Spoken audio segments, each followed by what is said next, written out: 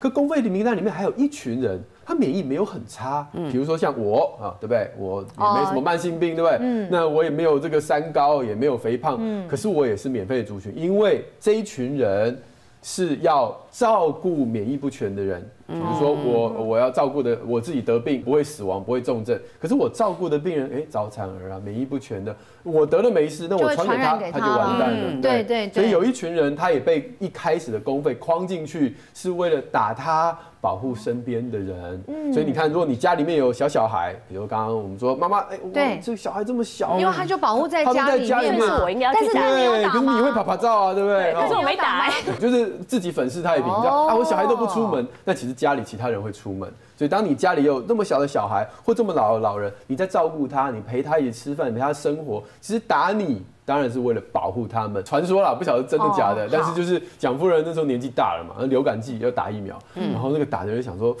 万一我一打他，对，万一出现一些有人会中风之类的，我就完了，对不对？适应症出来怎么办？可是我如果不打他得冬冬天得流感死掉，我也惨了，对不对？对，打了我也惨，不打我也惨。后来他想了一个办法，所以把他身边的什么厨师啊、司机啊、仆人啊，反正身边因为接触人，通通抓来打。那这个叫减负效应。